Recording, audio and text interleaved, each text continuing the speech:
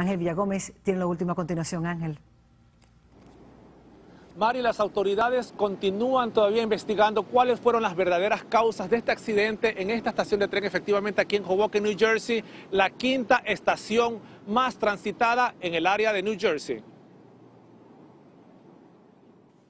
Muy nerviosa. Así fue como cientos de pasajeros que se encontraban dentro del tren accidentado salieron luego de vivir una terrible pesadilla cuando este se estrelló contra la plataforma en la estación de Hoboken, New Jersey, desatando el pánico. Yo solamente escuché las ambulancias y los bomberos y todo. Es el momento de establecer contacto con Ángel Villagómez, quien se encuentra en Ecuador, en su ciudad natal, Puerto Viejo. Vamos a ver. Claro que sí, efectivamente, muy buenos días. Me encuentro desde aquí, desde Puerto Viejo, Manabí, Ecuador. Y como pueden ver, continúan todavía los trabajos de limpieza, los trabajos de rescate. Muchas personas todavía pues tienen la esperanza de encontrar algún familiar perdido, de encontrar algún amigo perdido. Esta devastadora historia. Buenos días, Ángel. Claro que sí, muy buenos días. Les comento que el día de ayer acompañamos a un padre indocumentado quien enfrenta una orden de deportación a despedirse de su pequeña ya que su hija decidió quitarse la vida al enterarse que él sería nuevamente deportado a su país de origen. Pues no, la recuerdo como una niña feliz, divertida, eh, llena de ilusiones, llena de sueños. Así la recuerdo de esa manera. Es la manera que yo siempre la trataré de recordar. Visiblemente afectado es como Manuel Gámez recuerda a su pequeña hija Heidi, quien luego de enterarse que su padre había sido detenido por inmigración al intentar entrar a Estados Unidos por tercera vez, trató de quitarse la vida ahorcándose y en su fallido intento quedó con muerte cerebral, por lo que el reencuentro con su hija fue solo para despedirse. Allá en Honduras ya fue en el 2015 que, que yo la vi, que la pude ver allí, abrazarla fue en el 2015. Y la última vez que, que yo tuve comunicación con ella por mensaje fue antes de yo cruzar la frontera, que le dije que iba a cruzar y que probablemente en una semana los íbamos a ver aquí en Nueva York.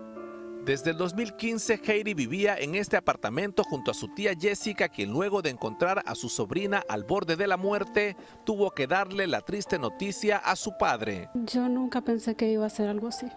Yo, yo sí la veía triste cuando hablábamos de su papá. lloraba, a veces se enojaba, pero no, no, nunca me di cuenta, nunca me, me percaté de que algo así, que ella podía hacer algo así.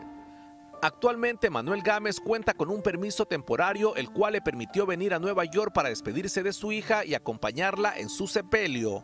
Dicho permiso es solo hasta este sábado cuando tendrá que regresar al centro de detención en Texas. Es por eso que este afectado padre le envía este mensaje al presidente de Estados Unidos, Donald Trump. Que revise bien los casos y que pues está bien que deporte a criminales y todo eso, pero la gente que viene a luchar por su familia aquí, que, que, se tocara el corazón y, y, les diera la oportunidad de, de, poder estar junto con la familia, que, que no separe más familia. Hablamos con el abogado Aníbal Romero, quien representa legalmente a Manuel y nos explicó el estado actual de su cliente. El día de hoy presentamos una petición ante las autoridades de inmigración pidiéndole que por favor le, conceda un año de estadía en los Estados Unidos mientras él pueda de una manera eh, eh, correcta presentar su asilo, ya que en algún momento parece que fue mal presentado. Esperemos que inmigración nos dé una respuesta eh, el día viernes o, no sé cuándo. Pero si no, si la respuesta es no, Manuel tendrá que regresar a un centro de detención.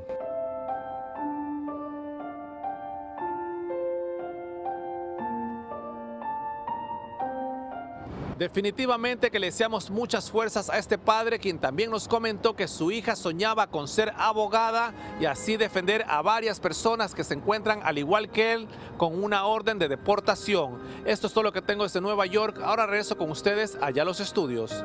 Gracias Ángel, pues sí. Ángel Villagómez está en New Jersey, donde ayer precisamente se realizó un simulacro con un atacante activo. Buenos días.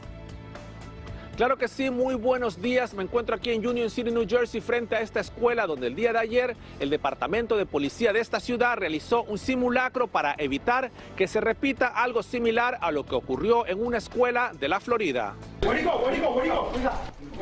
Como si fuera un llamado de emergencia real, decenas de policías llegaron hasta esta escuela en busca de una supuesta persona armada quien aparentemente se encontraba escondida, convirtiéndose así en una amenaza para los miles de estudiantes.